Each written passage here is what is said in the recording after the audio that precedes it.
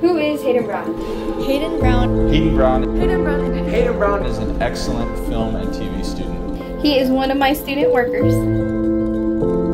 He is a very responsible young man. Hayden is really cool. He's probably one of my best friends at Canyon View. He works really well with his peers. He, um, Hayden is amazing. I, I'm kind of like me. I'm kind of like Steven Spielberg mixed with like Dwayne the Rock Johnson. He always gives everything he does 100%. He's always helping around film. Like anytime our teacher asks, he will help out with anything. Um, he's very reliable. We just, we really love working with him. He puts in hard work with everything he does.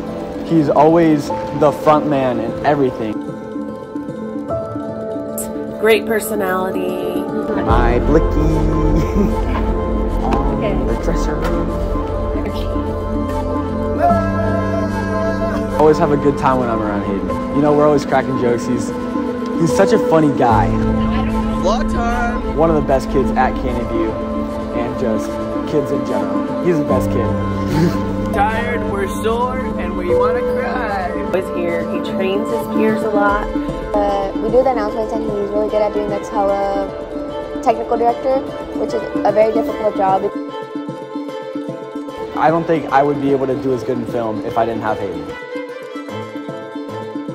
He always gives everything he does 100% in his FBLA, in his film, in literally everything.